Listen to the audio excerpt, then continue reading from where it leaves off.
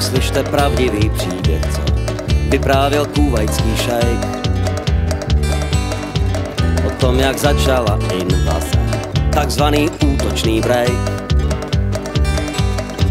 Na patře hotelu Hilton, kde v těchto dnech přechodně žil, vyfoukl hašiš a tak to k nám všem promluvil.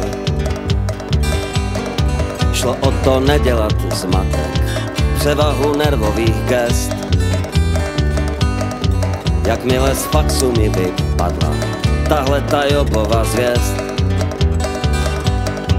Vystavit arabským hřebcům letenky na cestu ven. Dříve než vypukne panika v hromadných ložnicích žen. Děvčata nechal jsem postupně vysadit na hřbety mul. Kůvajský půl měsíc po nebi poklidně plul. Dříve než poslední cesty jsou bloknuty nepřáteli. Odchází karavana směrem Bospor a Dardanely.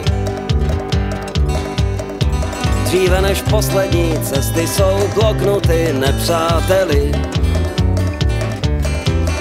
Odchází karavana směrem Bospor a Dardanely. V rozbřesku nad Perským zálivem zůstal jsem docela sám. Proč tady někomu běží, naftových věží se ptám. A jak mám utišit gejzír vnitřního napětí strun? Jak z paměti se třít svou krajinu Merši a Dun.